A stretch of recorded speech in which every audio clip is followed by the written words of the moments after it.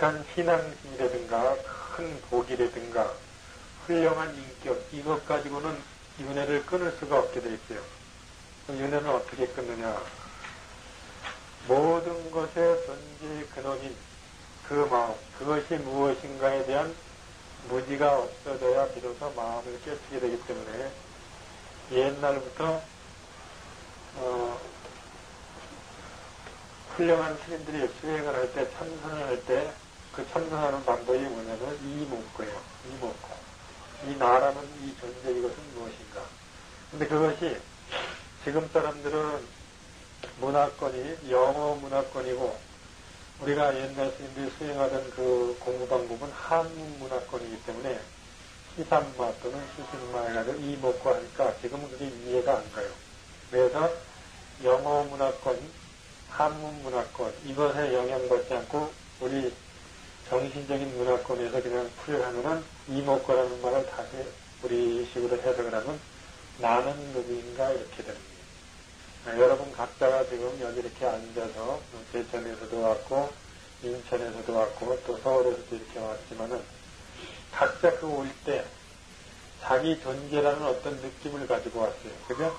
근데 그 존재 자체가 어디서 왔다 어디로 가는가에 대한 것은 까마득하게 모르고 여러분들이 느끼는 그 존재라는 것조차도 어, 기결을 한다든가 잠이 들어서 꿈이 없다든가 이럴 때는 여러분이 의식했던 세상이라든가 여러분이 나다 하고 주장했던 그 존재조차도 소멸이 되버려요.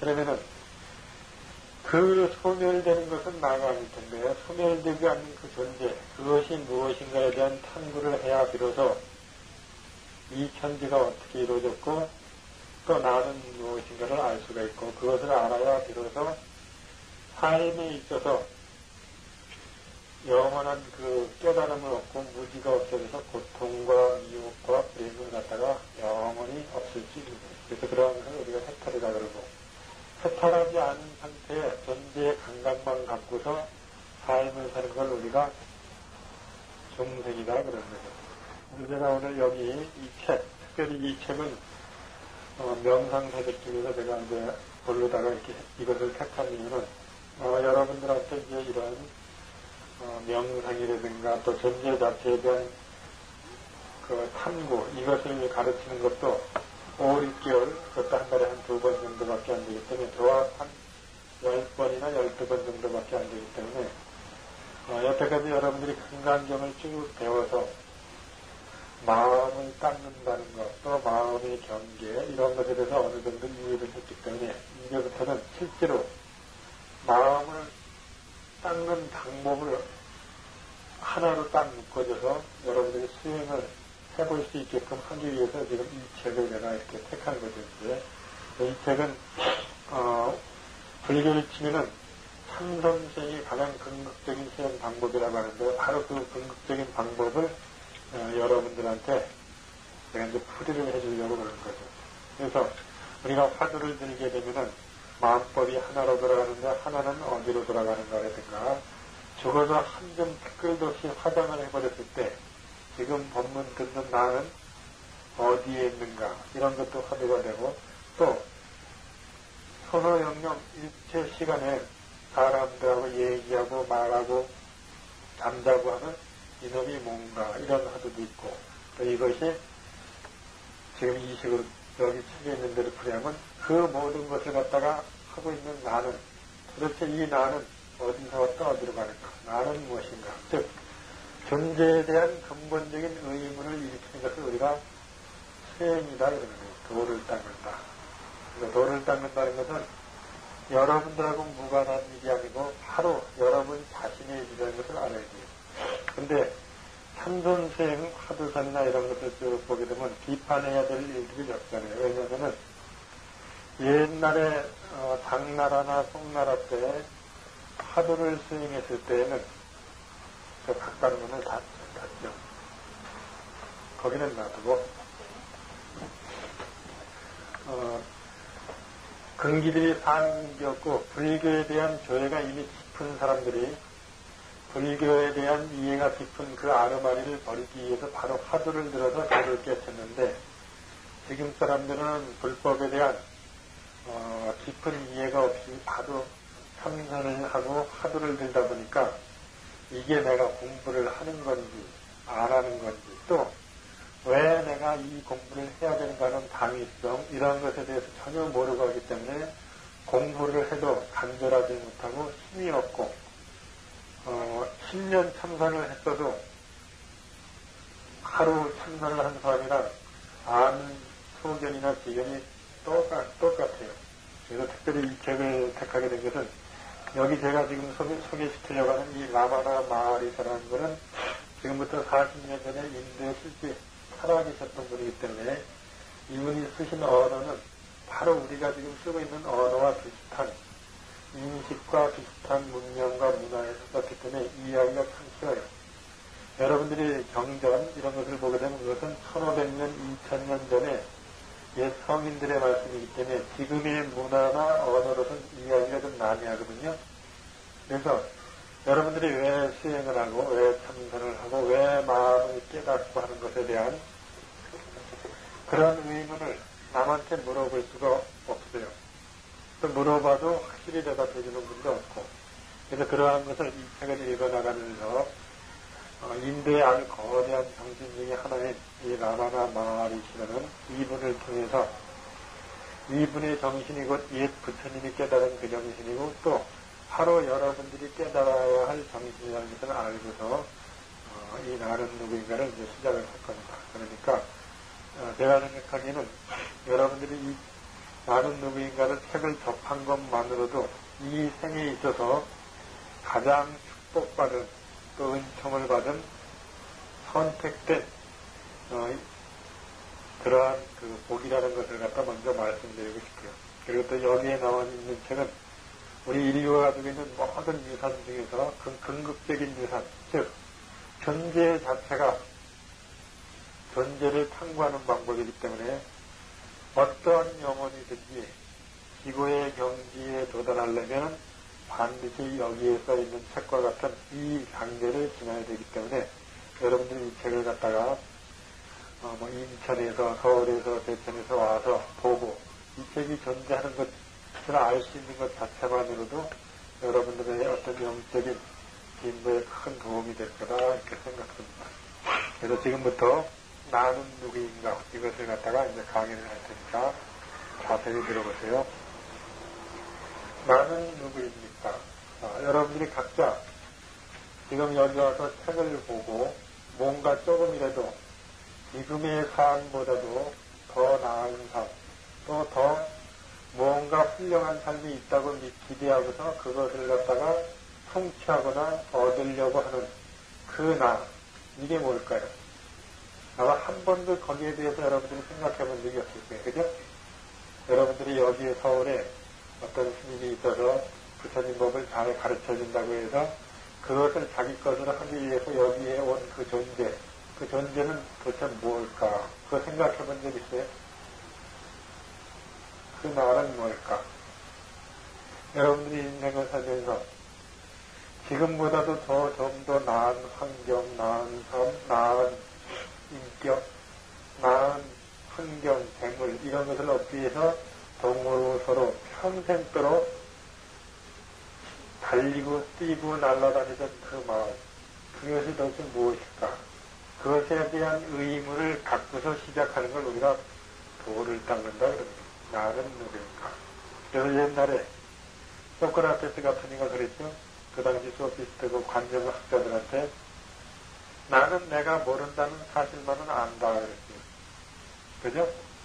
이것도 나는 누구인가에 대한 소크라테스 나름대로의 어떤 깨우침이에요. 근데 너희들은 네, 너희들이 모르는 것도 알고 있는 것처럼 착각하고 있다. 그랬어요. 나는 누구일까? 여러분들이 누구인가를 갖다가 전에 제가 여러분들한테 가끔씩 처음 오는 분들한테 늘 그랬어요. 이름이 뭡니까? 그러면 아무개입니다. 그래요. 그러면 그 이름을 부모가 주기 이전에 어떠한 이름에도 영향받지 않은 마음에 그려지지 않은 상태에 당신은 누구입니까? 하고 물어봤습니다. 아무도 대답을 못하대요. 어제는 또 백병원에 어떤 분이 이 암이 걸려서 제가 병문안을 갔는데 그 보살님한테 지금 마음이 어디 있습니까? 그랬더니 즐겁게 잘 지내다가 병이 들려서 암 수술을 받으니까 무사갑니다. 그래요. 그래서 근데 다행히 수술 경과가 아주 좋아서 환자가 있다고 아주 피하라고 그래서 요번 입원할 동안에 문제를 하나 줄 테니까 알아맞혀 보십시오. 그러면서 고달님이 마음에다 아무것도 그리지 않았을 때 여러분들은 마음에다 끊임없이 뭘 그리죠. 그죠? 아무것도 그리지 않았을 때 여러분의 마음은 어디 있을까? 이것도 나는 누구인가에 대한 해답을 알아야만이 나오는 거죠. 그죠? 그리고, 자, 그러면 라마나 마리시는 뭐라고 했는가를 들어보죠. 뼈와 살로 이루어진 이 몸은 내가 아니다. 자, 뼈와 살로 이루어진 몸이라는 것은 사실은 나의 본체는 아니다, 얘기예요. 여러분들이 아마 차를 갖고 있는 분들도 있을 거예요. 그러면 그 차는 내 차지 나는 아니죠. 그죠? 이 몸도 내 몸이지 나는 아니에요. 그러니까 뼈와 살로 이루어진 이 몸은 내가 아니다. 그런데 일찍이 이 내 몸을, 내 몸이 나와 떨어지지 않고 항상 썼기 때문에 이 몸이 나인 것으로 착각하는 걸 우리가 중생이라 그래요. 그래서 제일 첫 번째 미혹은 몸을 자기의 본체로 착각하는 것. 만약에 몸이 자기의 본체라고 하면은 여자들이 얼굴이 예뻐지기 위해서 성형외과 가서 눈도 고치고 코도 고치고 입도 고치고 귀에다가 구멍도 뚫고 하게 되면 그 나는 다른 사람이 바꿔버릴 수 있는 나가 되겠죠. 그죠? 성형외과 의사가 그 나를 바꿀 수가 있지만은 그렇게 바뀌어진다고 하면 그건 나가 아니에요. 다른 사람을 만들어 놓은 나지. 그죠? 그래서 뼈와 살로 이루어진 이 몸은 내가 아니다. 시각, 청각, 후각, 미각, 촉각 등의 다섯 가지 감각기관은 내가 아니다. 우리 불법에서는 이것을 갖다가 성틀어서 색성향, 미촉법 이렇게 얘기하죠. 그죠? 시각, 보는, 보아서 하는 거, 들어서 하는 거, 냄새 맡아서 하는 거, 맛봐서 하는 거, 더듬어 봐서 하는 거. 이것들은 내가 아니다. 왜냐? 이것은 우리의 몸이 형성됐기 때문에 몸이 외부를 갖다 감지하는 여섯 가지 기관의 이름에 지나지 않아요. 어, 말하고 움직이고 붙잡고 배설하고 생식하는 다섯 가지 운동기관은 내가 아니다.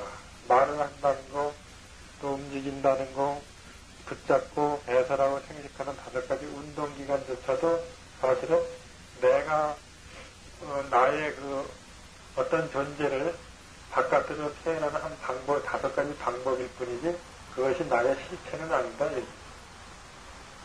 만약에 말하는 것이 자기라고 생각하면 녹음기도 자기가 될 수 있어요. 그죠? 호흡 등의 다섯 가지 기능을 수행하는 불안화 등의 다섯 가지 기는 내가 아니다.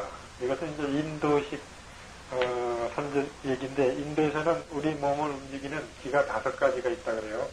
그것을 대표적으로 뿌라나, 그래서 요가에서는 이 뿌라나를 강화시키는 걸 목적으로 하는데 이걸 도교식으로 보면 오기라 그래요. 오기 조원이다. 그래가지고 공부를 많이 하면 이 다섯 가지 기운이 머리에 이렇게 모인다. 근데 다섯 가지 기관이 뭐냐?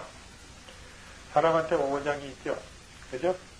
간장, 위장, 폐, 심장, 또 하나 뭐냐? 신장.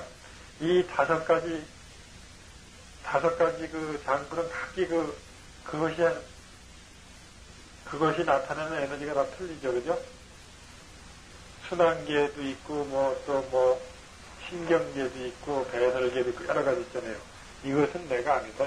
이것도 몸에 딸린 하나의 그 몸을 움직이게 하는 다섯 가지 방법이거든요. 제가 그래서 자동차를 사서 이렇게 살펴본 거는 이 자동차도 이 오장이 있더라고요. 그러니까 필터 같은 것은 심장 역할을 하고 또 뭐 배터리는 심장 역할을 하고, 그 다음에 뭐, 이 뭐야, 이, 뭐 여러 가지 그게 참고 우리 인간의 오장하고 비슷한 구조로 이렇게 돼 있다. 근데 인간이 가지고 있는 다섯 가지 장부, 이것이 기운이 극히 도, 독특하다고 생각해서 이것을 갖다가 다섯 가지 불안하다. 그럽니다. 근데 이것조차도 몸에 딸린 몸을 움직이는 어떤 기관일 뿐이지 나는 아니다. 자동차의 다섯 가지 우리 오장과 같은 그런 뭐 필터도 있고 무슨 에어컨도 있고 뭐 엔진도 있고 그렇다고 하지만 그것이 나는 아니잖아요. 그죠? 똑같이 어, 생각하는 마음도 내가 아니다. 자, 여기서 여러분들이 조금 여기서부터 좀 어려워질 거예요. 그죠? 능언경에 보면은 아난전자가 용모가 참 수려해가지고서 어, 이렇게 사위성내에 탁발을 하러 가면은 원근이 있는 여자들이 전부 이 아난전자 한 번 보고 다 상사병이 나고 그랬어요.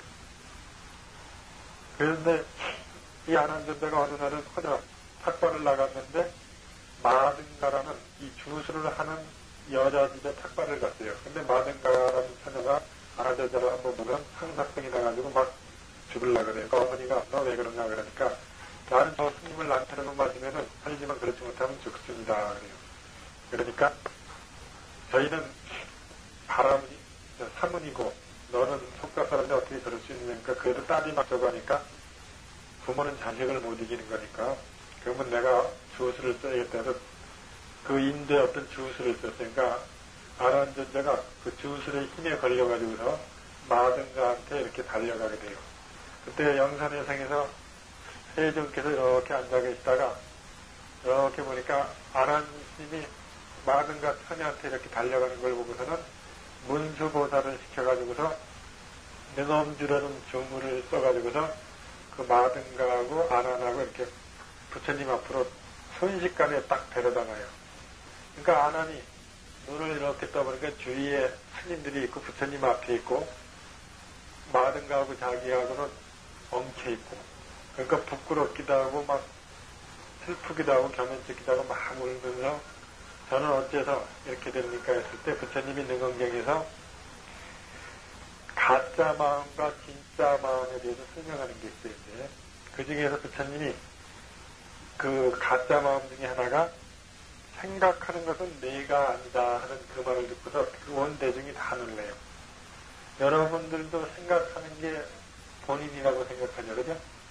근데 생각하는 것은 너가 아니다 이렇게 그렇게 하면 여러분들 이해를 못하겠죠.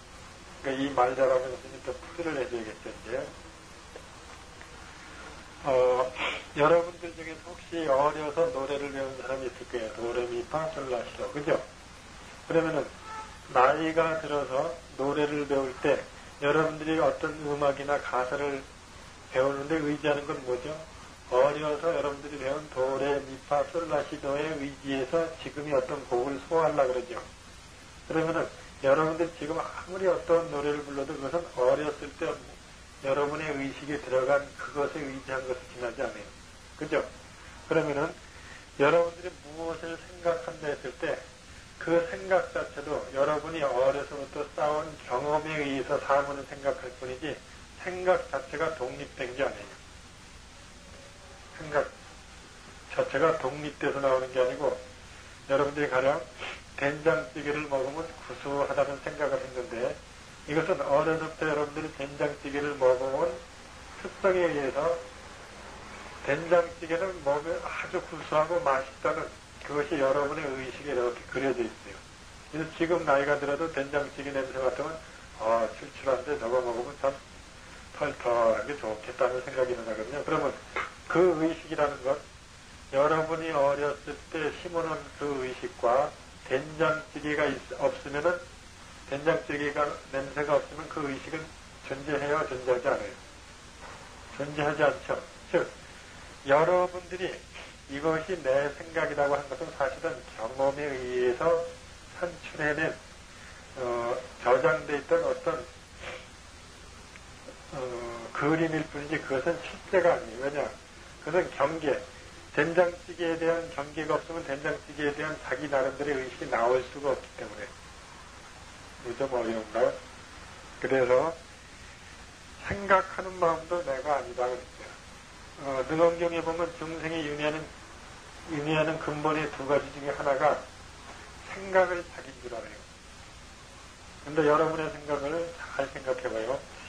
어렸을 때, 청년 행보살이 어렸을 때, 어, 어머니 젖을 빨을 때 생각과, 국민학교 때 생각과, 중학교 때 생각과, 고등학교 때 생각과 대학교 때 생각과 시집가서 생각과 지금 나이에 한 어머니의 하나의 어머니였을 생각과 같아요, 틀려요? 틀리죠? 끊임없이 변해왔죠. 그럼 그 중에서 어떠한 생각이 자기라고 생각해요?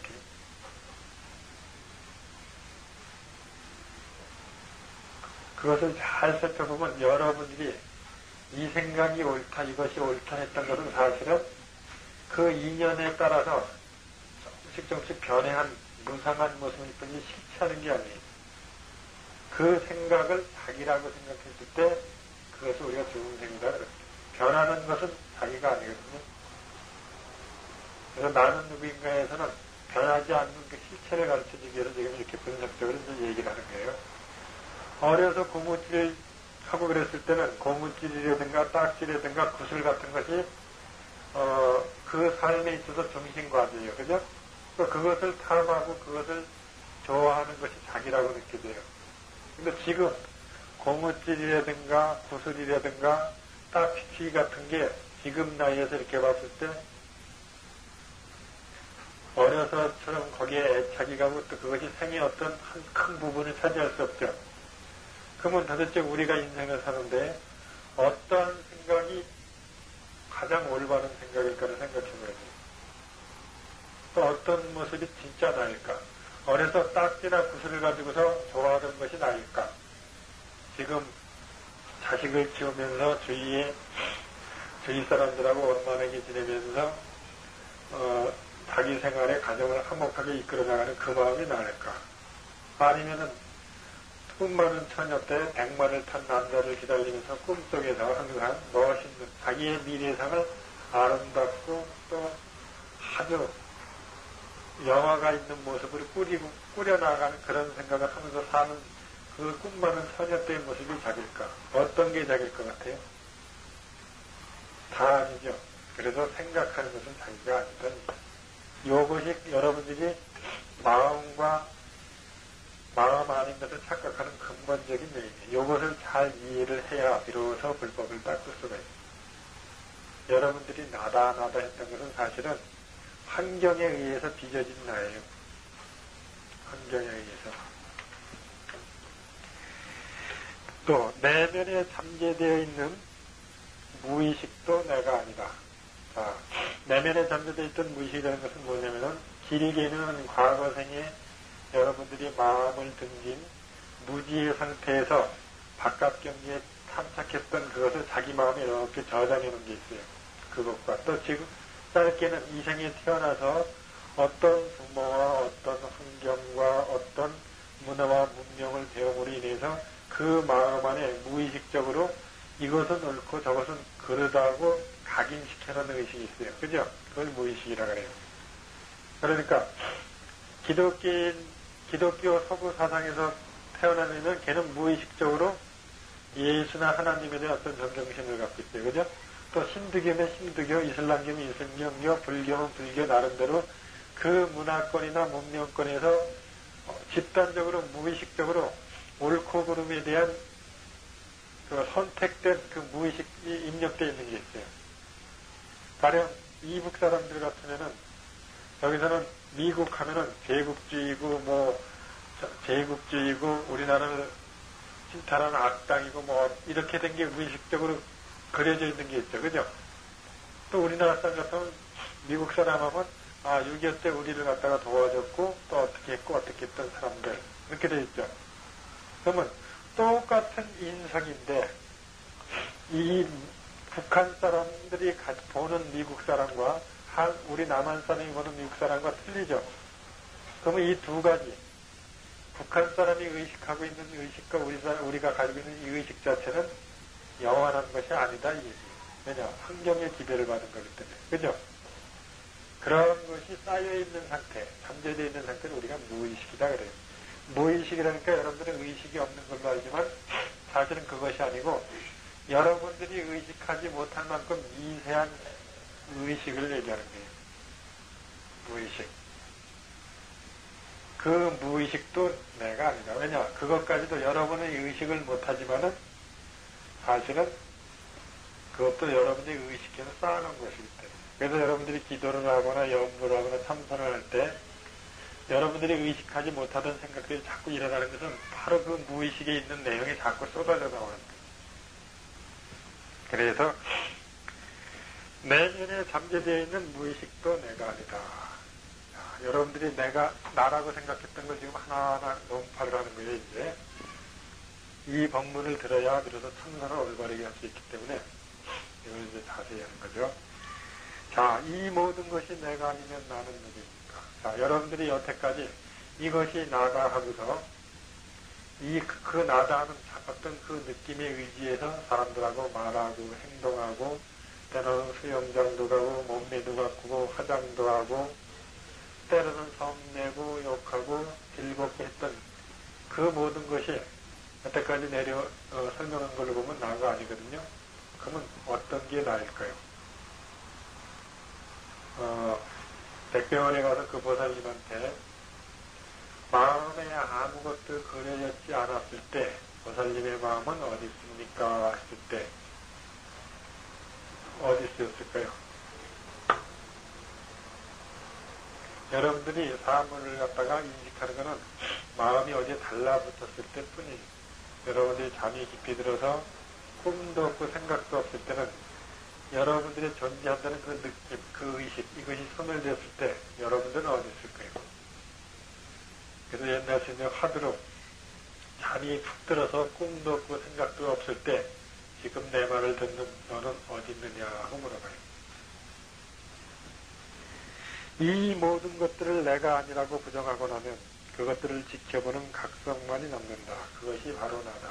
아직은 단도직적으로 가르쳐줬는데 이것이 어, 달마 스님이 전성 성부를 얘기하죠. 성품을 가리켜서 바로 부처를 이르게 한다는 그 각성. 자, 이 각성이라는 말은 우리가 하도 마음이 부처다, 마음이 부처다 하니까 자기의 의식을 자기의 마음으로 착각한 중생들이 뭐 내 마음이 부처인데 이렇게 돼버려요. 근데 그것은 나가 아니면 알았죠, 이제. 그러면은 아주 중요한 게 여기서 그 모든 것을 지켜보는 각성이 바로 너다 그랬어요. 자, 다시 청년행 보살님한테 이제 질문을 해볼게요. 어려서 딱지 치고 고무줄 하고 어머니한테 용돈 달라고 칭얼대던 나가 있어요. 그죠? 또 나이가 들어서 어떤 남자를 사모해서 같이 연애도 하고 즐겁게 데이트도 하던 나도 있고 지금 나이가 들어서 어머니가 되고 아내로서 어떤 일을 갖다가 해나가는 또 나가 있어요.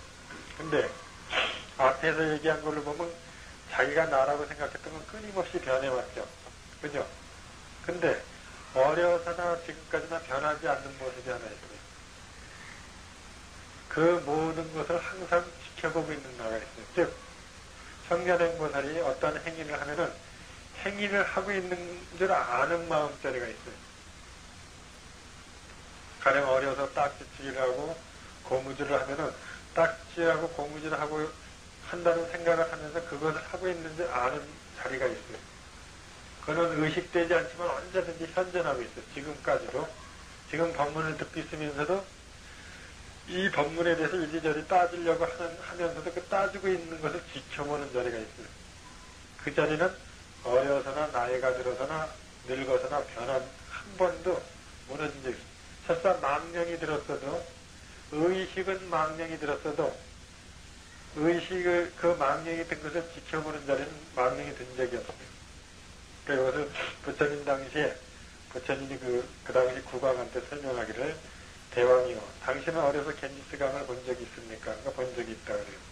그러면 청년 때 본 적이 있습니까? 그러니까 그렇다 그러고 그럼 나이가 늙어서 본 적이 있습니까? 그러니까 그렇다 그래요. 그러면 어렸을 때 당신 모습과 지금의 모습과 나이 들어서 모습과 어려서 당신 생각과 지금의 생각과 나이 들어서 생각과 같습니까? 틀립니까? 그러니까 그 모든 것은 다 틀리다 그랬어요. 틀림없이 틀리죠, 그죠? 근데, 그러면 어려서 겐지스 강물을 봤을 때 당신이 보는 그 각성, 지켜보는 그 마음자리가 어려 보였습니까? 하고 물어봤어요. 그러니까 그 보는 자리가 어리면 강물도 어려 보여야 되거든요. 또 나이가 들었을 때는 겐지스 강물이 젊어 보입니까?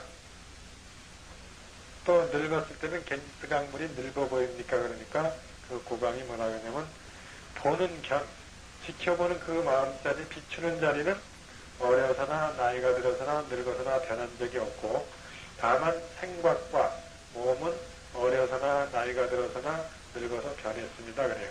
그러니까 부처님 뭐라 하시냐면 어려서부터 나이가 들어서 늙었을 때까지 비추는 그 비추는 자격은 변한 적이 없죠. 그죠?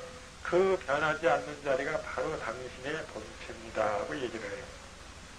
그래서 여기서 나마나마니시는 이 모든 것들을 내가 아니라고 부정하거나 하면 그것들을 지켜보는 각성만이 그것이 바로 나다. 이제 이 얘기는 뒤에도 조금씩 나오니까 지금 당장 이해를 못했더라도 일단은 자기 내면으로 어, 모든 것을 부정하고 나서도 사라지지 않는 자기가 있음에 대한 믿음을 우선 가져야 되는데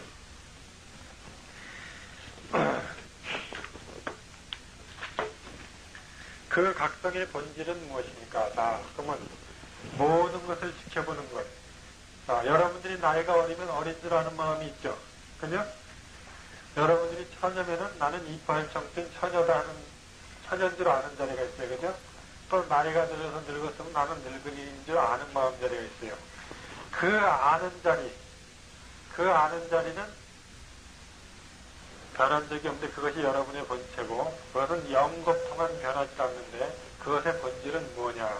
그 아는 자리의 본질은 그것이 우리한테 무슨 의미가 있느냐 이런 뜻이죠. 그러니까 여기서 그것의 본질은 실제 이건 쌉드라 그러는데 실제라는 건 뭐냐면 영원한 실체이기 때문에 우주가 생하고 면하고에 영향받지 않, 는 자리예요. 그것만이 영원한 실체이기 때문에 과거, 현재, 미래가 다 그것에 의지해서 건립되어 있기 때문에 또 의식 그것은 실제하면서도 모든 것을 갖다 다 비춰서 이해하는 자리예요. 그것도 우리가 지혜라고도 하죠. 그 다음에 기복 그 자리를 갖다가 체득한 사람만이 참다운 지극한 복을 갖다가 경험할 수가 있어요. 그래서 여러분들이 일례로 이거는 그냥 비유니까 꼭 이렇다고 얘기하는 것은 아니지만 여러분들이 세상을 살면서 가장 편안했던 순간이 언제인 것 같아요? 관맹보다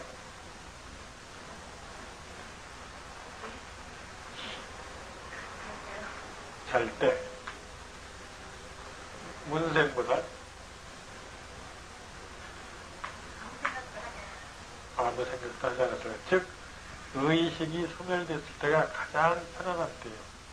그때를 구체적으로 우리가 그냥 일상생활에서 증언해 보면은 잠이 깊이 들어서 꿈도 없고 생각도 없을 때 그 상태보다도 더 평안함을 아마 여러분은 경험하지 못했을 거예요. 그죠? 그 상태를 깨어있으면서 늘 유지하는 상태, 그것이 각성이에요. 근데 여러분의 의식이 거기에 개입하는 순간서부터 지극한 행복감이라든가 실제감이라든가 또는 의, 식감 초월의식감을 상실해버려요. 그러면 여러분들이 왜 마음을 닦아야 진정한 행복과 평화와 지혜를 얻는가에 대해서 조금 아주 눈꽃만큼 이해했을 거예요. 그죠? 사실은 잠이 푹 들어서 꿈도 없고 생각도 없을 때 여러분들은 의식이 없다고 하지만 여러분이 너무 거칠어 있기 때문에 거친 그것에만 살았기 때문에 의식하지 못할 뿐이지 거기에도 미세한 번뇌의 의식이 있어요. 근데 여러분이 그것을 의식할 만한 영원한 영혼의 순화가 되지 않거든요. 근데 만약에 보살 경계라면은 꿈도 없고 생각도 없을 때 상태에서의 그 미세한 번뇌까지도 포착이 돼요. 거울이 맑으면은 먼지 티끌 하나라도 다 드러나지만은 거울이 흐리면은 웬만한 먼지도 안 나타나거든요. 그 웬만한 먼지도 안 나타나는 상태를 여러분들은 편안하다고 느끼니까. 네? 그래서 각성의 본질은 실제 여러분들이 어려서부터 지금까지 한 번도 놓치지 않은 것이 자기는 실제 한다는 느낌이에요. 그죠? 그것이 왜 그러느냐. 바로 여러분의 본성이기 때문에 그래요. 그래서 여러분들이 어, 3, 40년이 지구상에서 다 죽는다는 것을 알고 또 주위에서 그렇게 하는 것을 봐도 여러분들은 체감이 안 가요. 왜냐? 여러분들은 바로 그 실제 그 자체에 있기 때문에. 그 다음에 의식. 이것이 그냥 존재만 할 뿐만 아니라 일체 삼라만상을 다 조절을 해요. 이 자리가. 이걸 우주의식이라고 하죠. 그래서 봄이 오게 되면은 때에 맞춰서 여름이 오게 되고 가을이 오고 겨울이 오고 우주가 성주개공하는 것이 다 이 의식 여러분의 그 마음자리 의지에서 건립이 되거든요. 그것을 깨달은 이의 그 마음은 지복 너무너무 지극하기 때문에 지복이라 그래요. 우리가 극락세계 할때 낙이라는 극락이 뭐예요? 낙이 극에 달했다 얘기예요. 도저히 우리가 헤아릴 수 없는 낙이다. 그것이 뭐냐? 바로 마음을 깨쳤을 때 나오는 낙이 바로 극락. 의식으로는 그려낼 수 없는 즐거움과 평안함. 어느 때 진화, 이것은 왜 진화라 그랬냐면은 불교에서는 진화를 인정을 안 해요. 그것은 왜냐면은 어, 여러분들이 가를 자기 진실 안 아로 알기 때문에 그 가라는 그것을 깨뜨려주기 위해서 진화라는 말을 사용을 안 하거든요. 근데 이제 이건 신주교 용어니까 어느 때 진화, 즉 여러분의 각성의 자를 깨달을 수 있습니까? 하는 물어봐요. 아, 궁금한 얘기죠. 현상계가 실제한다는 인식이 사라질 때 진화를 깨달을 수 있다. 이게 좀 이상하죠. 현상계가 실제하다는 생각이 사라질 때 진화를 깨달을 수 있다. 이것을 바꿔 얘기하면은 여러분의 의식, 마음이 사라질 때 진화를 깨달을 수 있다.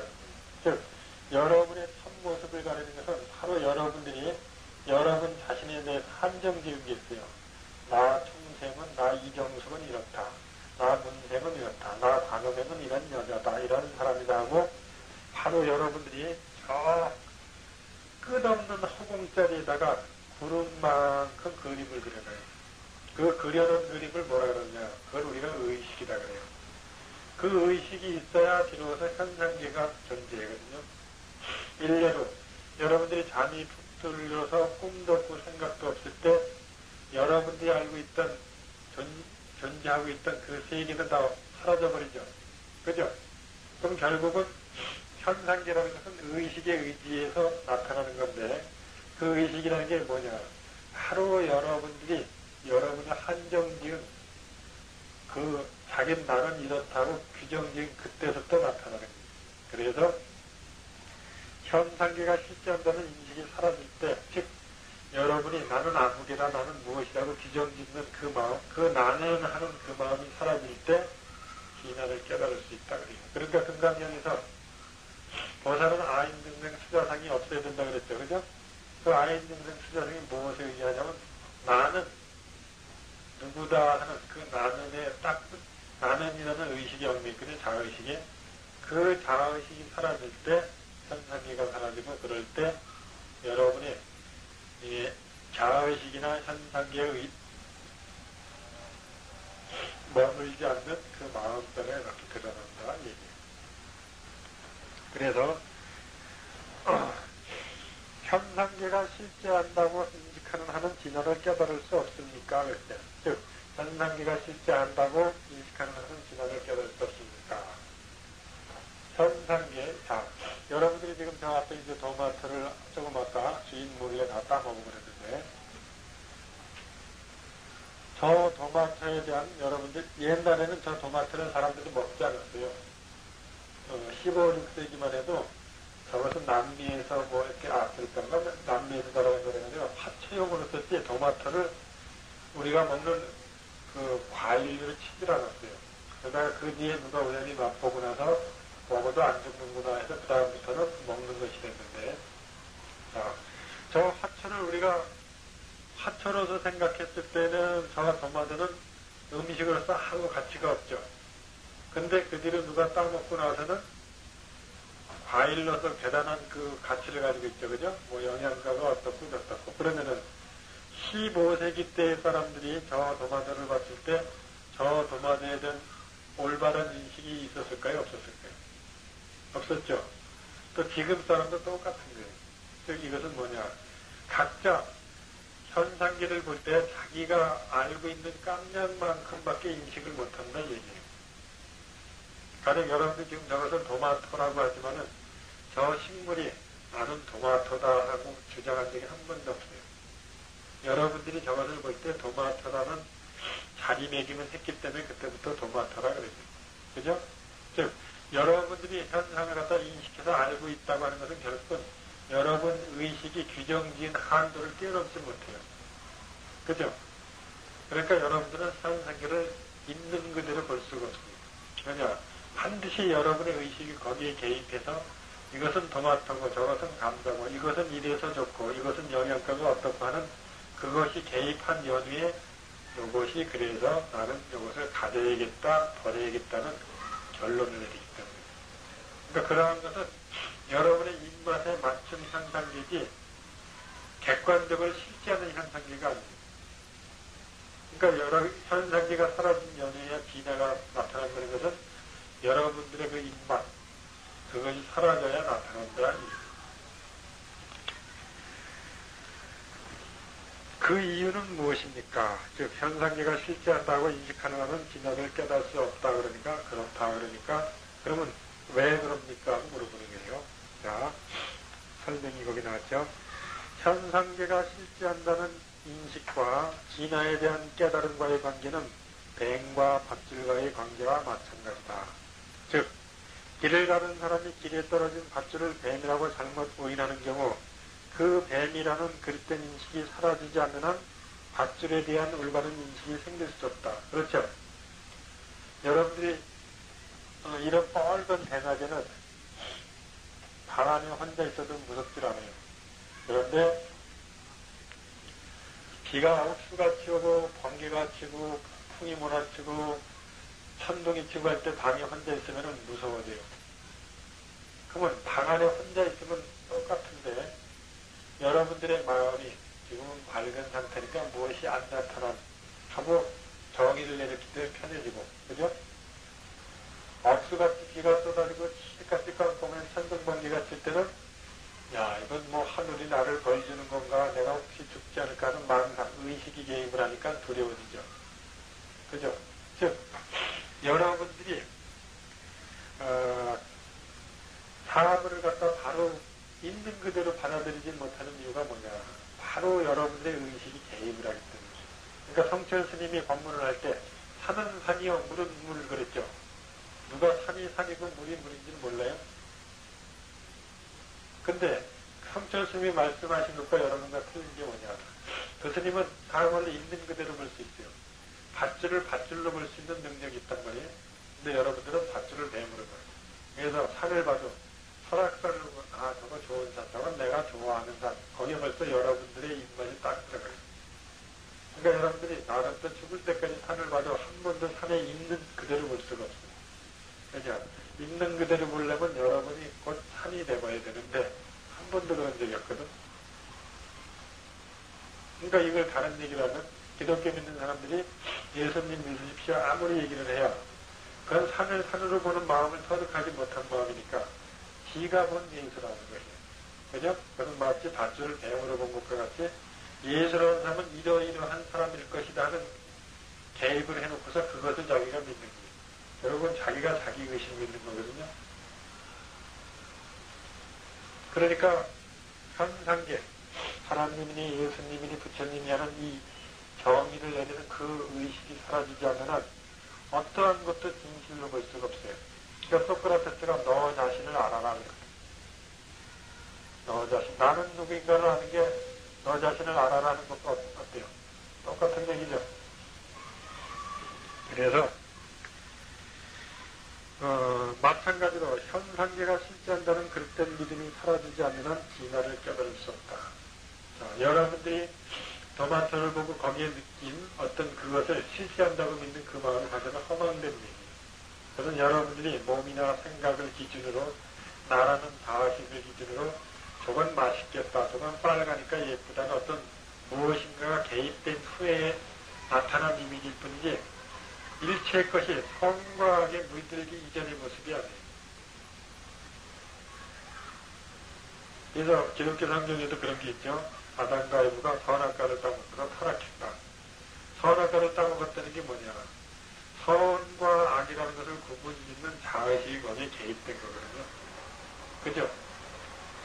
사물을 볼 때 벌써 선악을 구분하는 마음이 벌써 개입이 됐기 때문에 선하게 물들기 이전에 자기 본성이 사라진 상태. 그러니까 타락된 게 거죠. 이제. 근데 그 사람들은 이것이 어떤 어, 줄 모르고 아, 에덴 동산이 따로 있고 선악 과를 따먹었다고 이렇게 믿고 있으니까 그것이 이제 문제죠. 현상에 대한 모든 인식과 행위의 원인은 마음이다. 이것을 잘 알아야 돼요. 원효 스님이 옛날에 의상 스님하고 도를 배우러 중국을 이렇게 건너가시다가 비바람이 몰아치니까 무덤에 들어가서 쉬었어요. 우리나라 사람들은 무덤 하면은 잔디를 입힌, 때 입힌 그 작은 무덤을 생각하지만 옛날에 중국 사람들은 호족들이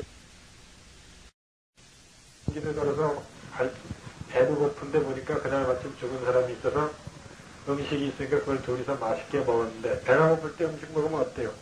목이 굉장히 마르죠. 그러니까 자다가 일어나서 밖에 나가서 물을 찾다가 물을 시원하게 먹고서 들어가서 잤는데 꿈속에서 귀신이 왜 내 밥, 내 밥을 갖다 네가 먹느냐 해서 밤새 귀신한테 시달리다가 꿈을 깼어요, 이제.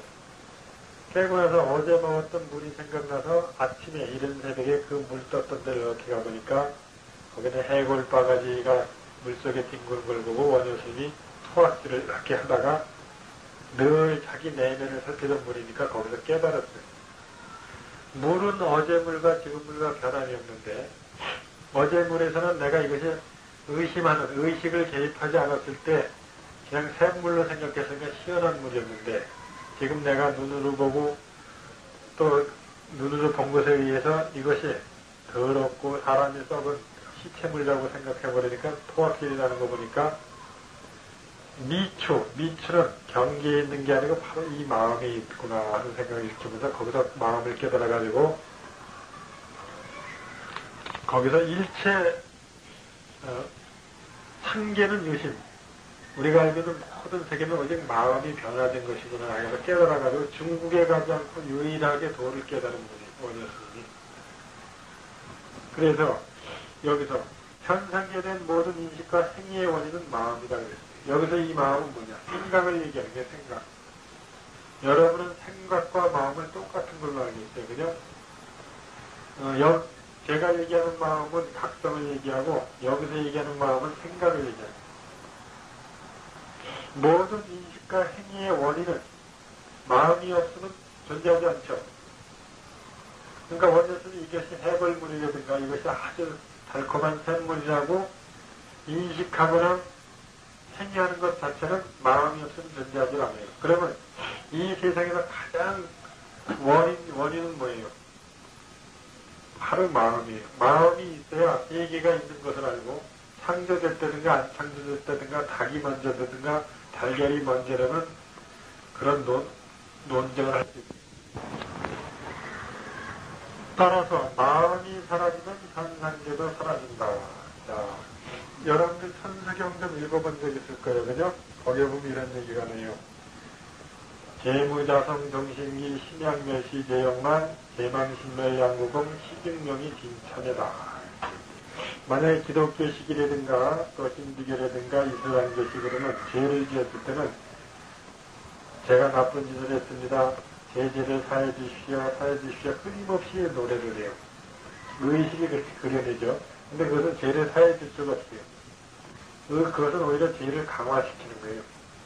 아, 나는 죄인이구나 하는 의식을. 근데 불교에서는 참여를 그렇게 하지 않냐고. 재무자성 정신계. 죄라는 건 원래 자성이었고 마음이 무지에서 일어난 것뿐이에요. 그죠? 그러니까 재무자성 정신기, 재망 신멸 양구. 죄도 있고 마음도 있고 하게 되면은 재망 신멸 양구, 신양멸시 재경만. 마음이, 마음도 없애고 죄도 없애버리면 이것이 진창이다 그랬어요. 즉, 이것은 무슨 얘기냐. 마음이 있으면 이것이 죄라든가 선이라든가 악이라든가 하는 모든 것이 일어나요. 그죠? 그러면 마음을 던져가지고 우리가 어떤 무지한 행위에 의해서 죄를 지었어도 그건 내가 죄를 지었다는 염을 지속하고 있는 한 그 마음에 죄 지은 것이 꼭 그려지는 거예요. 그러나 불교식으로 공부를 하게 되면은 죄라는 것은 원래 실제하지 않음을 갖다 깨우치는 것 외에는 죄를 진정으로 참여할 수가 없어요. 그러니까 제가 의지하고 있는 것은 마음이니까 그 마음을 사라지게 하는 방법이 유일하게 진실로 참여하는 방법이다. 그래서 여기서 마음이 사라지면은 선이다, 악이다, 죄기, 죄다 하는 그 현상계가 사라진다. 무슨 얘기인가 아시겠죠? 그러면 마음의 본질은 무엇입니까? 자, 여러분들이 쓰는 그 마음의 본질은 무엇일까? 마음이라는 건 눈이 얘기하자면 생각이라고 이해를 해야 돼요. 여러분들이 자꾸 착각을 할 것 같으면 제가 교정을 해주는 건데 이 책에 있는 것을 잘못 읽으면 여러분들이 그렇게 되는 거죠. 마음이란 진화 안에서 나타나는 미묘한 힘이다. 즉 마음이라는 건 우리의 본체 안에 나타나는 미묘한 힘이에요. 그것은 선한 것도 아니고 악한 것도 아니에요. 근데 우리가 그 마음에다 정의를 내리는 순간에 나는 사람, 사람, 악한 사람이 돼서 그때부터 갈등이 생겨서 우리의 그 마음이 못된 것이 되는 거예요. 그것은 모든 생각을 일으킨다. 그것은 모든 생각을 일으킨다. 생각과는 별개의 독립된 마음이란 존재하지 않는다. 즉, 생각이 곧 마음이란 얘기죠. 그죠? 따라서 생각이 바로 마음의 본질이다. 근데 도를 깨닫는다는 건 바로 이 생각을 사라지게 하는 거거든요. 마음을 사라지게 하는 거.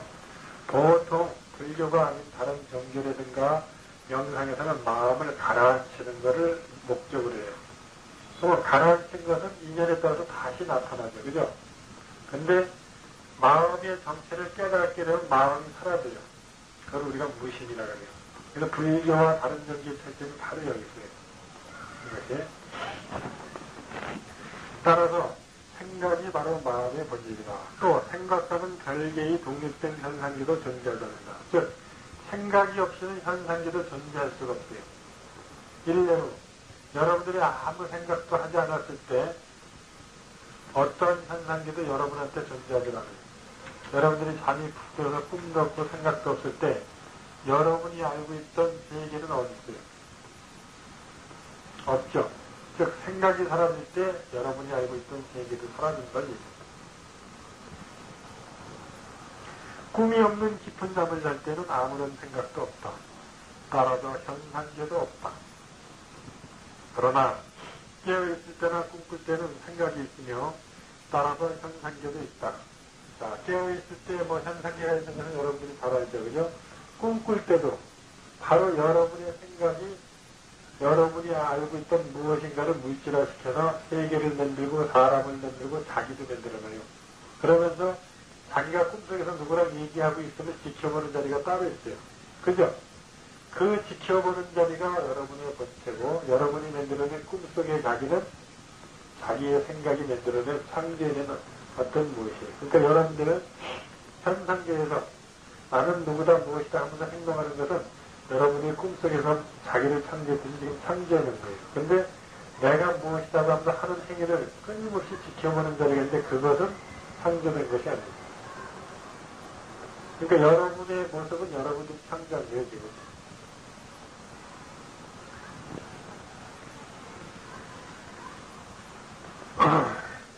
거미가 몸 밖으로 거미들을 뽑아냈다가 다시 거두어 들이듯이 마음도 바깥으로 현상계를 투시했다가 다시 안으로 거두어들인다. 마음이 기나 밖으로 나올 때 현상계가 나타난다. 즉, 이 현상계라는 것은 마음이 바깥으로 투사될 때, 그럴 때 바깥에 있는 것에 대한 어떤 의식이 일어날 때 현상계가 나타납니다. 따라서 현상계가 나타날 때 진화는 나타나지 않으며 왜냐 진화는 진화라는 것은 정의된 것이 아니기 때문에 그래서 그것을 공인이 문이 이렇게 얘기하기도 하겠는데 따라서 현상계가 나타날 때 진화는 나타나지 않으며 진화가 나타날 때 현상계는 나타나지 않는다. 진화가 나타날 땐 일체가 다 진화일 뿐이에요. 그때는 산은 산이고 물은 물이에요. 근데 그러지 않을 때 여러분들은 산은 좋은 산이고 나쁜 산이고 물은 좋은 물이고 나쁜 물이고 이렇게 되거든요. 이 체를 잘 알아야 돼요. 조계종의 최고의 고승이라는 스님이 삼척동자도 다 아는 산은 산이요 물은 물이요 왜 그랬을까요? 네? 바로 여러분의 의식의 그 단박함과 탁함을 갖다 가르쳐주는 근데 그게 무슨 귀신 콩고먹은 소식에서 한때 그 유행이 있었죠? 텔레비에서도 뭐 코미디언들이 사는 산이요, 물은 물이요, 뭐 이러고. 그게 얼마나 심오한 경지인가를 여러분들이 수행을 해봐야 해요. 거울이 맑게 되면은 청년행이 오면 청년행이 비쳐 있는 그대로. 근데 거울이 탁해지면 청년행의 모습이 탁해진 모습만큼 탁해지게 비쳐요. 그죠? 그러면 사는 산이요, 물은 물이 될 수 없죠. 그죠? 거울이 참으로 한 티끌도 없어야 있는 그대로 비치죠. 그 자리를 얘기하는 게 사는 산이요, 물은 물. 즉, 거울이 탁한 것이 조금이라도 있으면 거울에 본 비치는 자격이 사라지죠. 여기서 그 얘기예요. 현상계가, 현상계가 나타날 때 진화가 나타나지 않는다는 얘기입니다. 그죠? 또 진화가 나타날 때 현상계가 나타날 수가 없어요. 진화가 나타날 때는 오로지 일체가 다 진화예요. 그래서 마치 깨닫지 못한 눈으로 봤을 때는 일체가 다 장이고 깨닫지 못한 거지만은 깨닫는 눈으로 봤을 때 천지 자체가 마음일 뿐이에요. 이것이 정법문을 감당할 수 있을지 모르지. 그런데 사람들한테 멍청하다는 얘기를 안 하기로 했는데 또 할 뻔했어.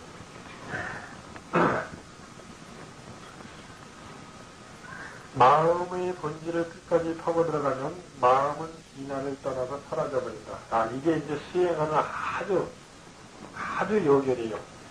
여러분들이 이 세상에 많은 명상법이라든가 마음 닦는 법이 많지만은 그 모든 것은 바로 여러분의 의식을 만족시키는 차원에서 얘기해요. 그러니까 뭐, 신봉주의 조영기군 목사 같으니 뭐, 구하라.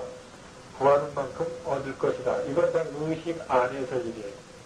의식은 이건 자아를, 자아를 만족시켜주는 것을 신앙이라고 생각하거나 얘기하는 게 조영기 목사 그 설법 핵심이거든요.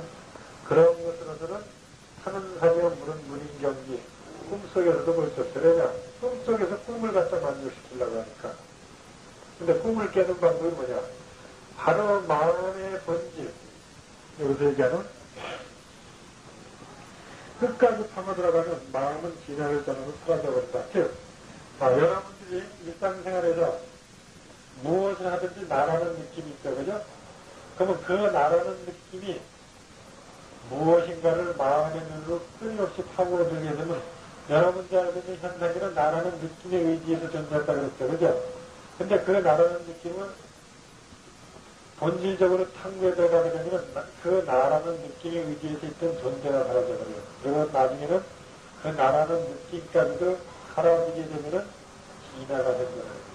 그래서 이 방법을 우리가 나는 누구인가 그럽니다.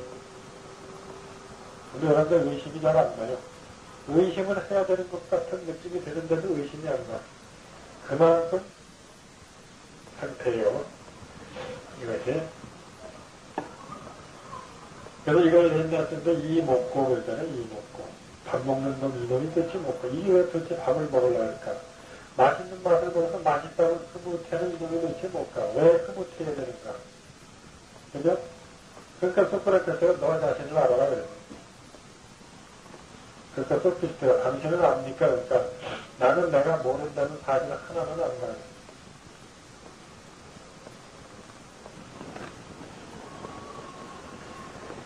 진화가 바로 아트만이다. 이거 아트만이라는 것은 이제 어, 이 인도 그 바라문기에서 어, 천지를 창조한 건 브라만이고 브라만이 대체로 나타난 게 아트만이라고 그래요. 그래서 진화 진화라 그러죠. 진화라는데 거마이다 뭐 이런 걸 얘기하는데 여기서는 그냥 우리의 마음이다 이렇게 생각하면 되죠. 마음은 항상 무엇인가 의존하고 있으며 여러분의 마음은 항상 뭔가 의지하려고 그래요. 그래서 사랑하는 사람도 구하고 또 자식도 낳아 자식 키우는 재미도 보고 자식한테도 의지하고 친구도 만들고 자꾸 그러는 거예요. 그러니까 그 병원에 있는 모살님한테 지금 마음이 어디 있습니까? 그러니까 무상한 데 있습니다. 무상하다는 얘기를 누구한테 배웠거든. 그죠?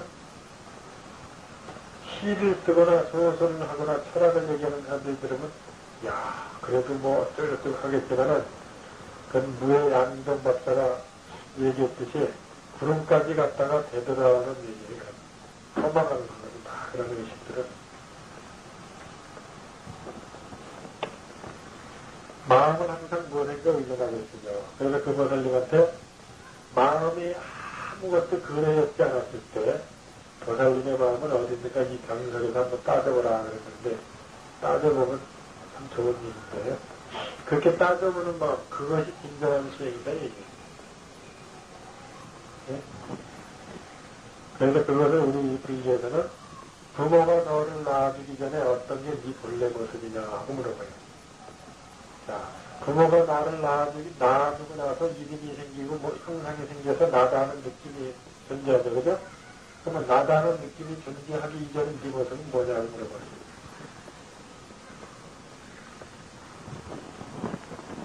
흔히 영혼이라고 부르는 것도 역시 뭔가, 즉, 영혼, 영혼하지만 그 영혼이라는 것도 사실은 아르바리지, 그 의식일 뿐, 생각일 뿐, 생각의 덩어리다, 이게.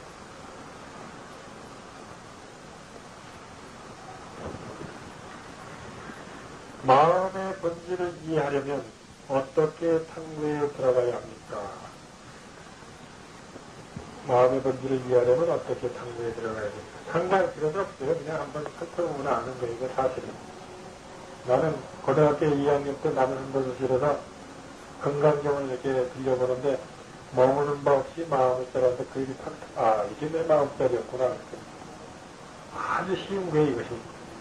근데 쉽지 않은 게 여러분들은 구할 바 무슨 깨달음이라든가 구할 바 특별한 경지가 따로 있음을 먼저 정리해 놓고서 불법을 배우고 도를 닦고 마음을 찾기 때문에 그래요.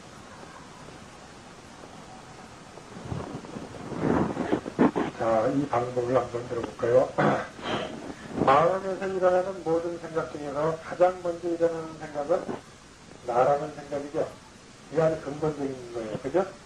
여러분들이 무엇을 하든지 나라는 생각이 제일 먼저 일어나요. 여러분이 누구를 사랑한다고 하죠. 영원히 사랑하고 목숨 바쳐 사랑한다고 해도 목숨 바쳐 사랑한다는 그 근제는 나, 내가 하는 일이 있어요. 그래서 아무 여러분들이 진짜 사랑을 하게 되면 무엇을 알 수 있느냐면은 이 세상에서 가장 사랑할 수 있는 것은 자기 자신밖에 없음이라는 남을 사랑하는 것까지도 자기를 만족, 충만시키기 위해서 하는 거예요. 그러니까 세간에서 사랑을 하는 것 사실은 사랑이라는 어떤 실체가 있는 걸로 착각하는 데 나오는 또 다른 의미입니다. 마음에서 일어나는 모든 생각 중에서 가장 먼저 일어나는 생각은 나라는 생각이다. 이것만 잘 알게 되면 여러분들이 이 세상에 있는 온갖 종교나 미신에 이런 데 속지 않아요. 이건 정법이니까. 이 생각이 일어난 뒤에 다른 생각도 일어난다. 이는 마치 1인칭이 있고 난 년에 2인칭과 3인칭이 있는 것과 같다. 그죠? 내가 있은 뒤에 나와 상대는 너가 있고 또 나와 상대하는 그가 있어요. 또 만물이 있고 천지가 있고. 그러니까 기독교에게는 천지가 창조된 뒤에 사람이 태어났다는 건 그건 거짓말입니다. 내가 있은 연위에 천지가 있어요. 여러분들이 세상에 난 연위에야 비로소 천지가 의미를 가져요. 그죠? 여러분들이 없는 천지가 무슨 의미가 있어요? 아무 그건 존재 가치가 없는 거예요. 여러분이 존재한 연위에야 비로소 이 천지가 여러분에게 어떤 의미를 주는 것, 의미를 갖고. 그죠? 그러니까 나, 나로 인해서 천지가 창조된 거지, 천지가 창조된 것을 인해서 내가 창조된 게 아니야. 따라서 마음의 본질을 이해하기 위해서는 우선 이 나라는 것이 무엇인지 알아야 한다. 이 나. 그러니까 여러분들이 나는 누구니까 이거 연불식을 애우면 소용이 의심이 안 나니까. 여러분들이 무엇을 하든지 나라는 그 느낌이 있어요. 그죠? 그 느낌을 마음으로 늘 살피는 거. 이게 나는 누구인가 본 거야. 그렇게 되면 여러분들이 여태까지 나라는 느낌에 의지해서 마음을 썼던 것들이 얼마나 허망한 것인가 조금씩 조금씩 풀어드려요. 어떻게 하면 마음이 사라지게 됩니까? 즉, 나라는 느낌이 어떻게 하면 사라지게 되냐, 아까도 얘기했죠? 세상에 있는 온갖 명상은 마음을 고요히 하고 말치고 가라앉히는 걸 목적으로 하지만, 불법에서는 바로 그 마음을 사라지게 하는 게 목적이라고. 왜냐, 그 마음이라는 건 쉽지 않은 마음이 아니에요. 특성에 의해서 이러는 것 뿐이죠. 나는 누구인가라는 의문을 가지고 계속 탐구에 들어감으로써 가능하다. 나는 누구인가라는 생각을 계속하면 다른 생각들은 모두 사라진다. 그건 맞아요. 여러분들 기도하다가 많은 생각이 아무리 일어나도 그 생각에 의지하고 있는 것은 나라는 느낌에 의지해서 일어나거든요. 그럴 때 직접적으로 이 모든 생각이 일어난다고 걱정하는 이 나는 누구인가 하고 살피게 되는 순간에 그 모든 생각이 사라져요. 이거보다도 간단 명료하게 번뇌를 없애고 근본으로 돌아가는 시행 방법이 없습니다. 그죠?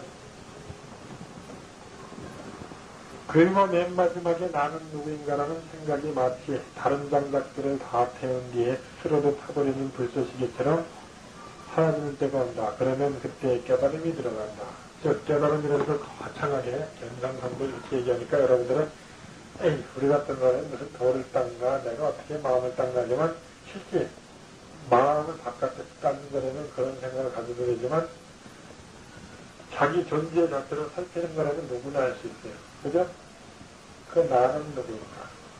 여러분들은 누구예요? 여러분들은 어머니라고 해야 되겠어요? 여자라고 해야 되겠어요? 딸이라고 그러겠어요? 며느리라고 그러겠어요?